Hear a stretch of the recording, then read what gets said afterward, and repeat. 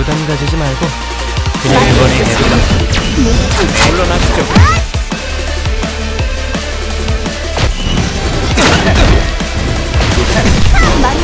물러나시죠.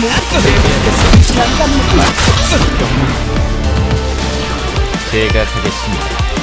본전을 위해서. 네.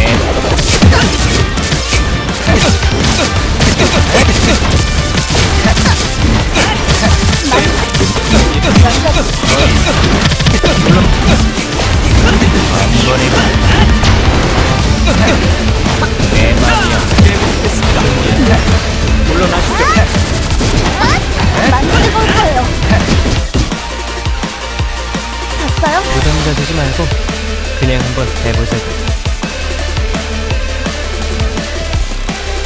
네 물러나.